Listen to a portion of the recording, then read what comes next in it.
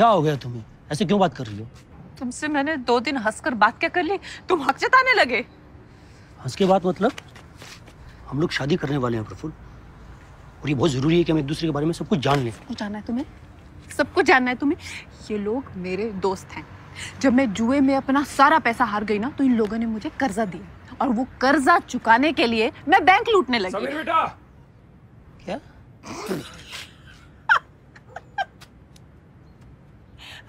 फट गई समीर। कितना कर्जा है तुम पचास हज़ार डॉलर। इतने में तो तुम्हारी एमबीए की फ़ीस हो जाए। समीर भाग गए। समीर अरे पूरी कहानी तो सुनो समीर। उसके बाद वो चोरी का पैसा चोरी हो गया।